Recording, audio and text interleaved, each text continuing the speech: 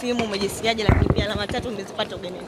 Ah, nimejisikia furaha, nimejisikia ni moja ya ndoto yangu kwa sababu uh, kikubwa ni kuzidisha tu bidii na kuweza kusaidia taifa langu kwa sababu bado taifa linadai kwa muda mrefu. Mnarejea sasa kwa, mchezo dhidi ya Uganda mkiwa hapa nyumbani, matarajio yako ni nini hasa kama mchezaji ambaye una hari bado na nguvu za kuipambania timu yako?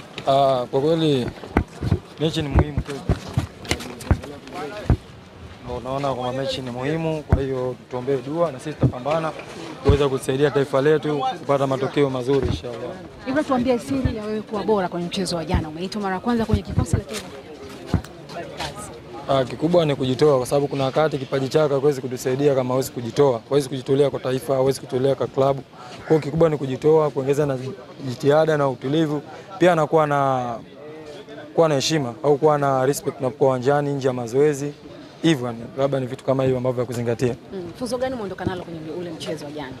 Ah, nimeondoka na mafunzo mingi lakini kwa moja tu ah, kikubwa uwe na, uwe na ustahimilivu kwa sababu unakutana na wachezaji wakubwa wewe mwenyewe unataka uwe mkubwa. Kwa hiyo uwe na ustahimilivu kwa changamoto zote ambazo unakutana nazo uwanjani. Mm.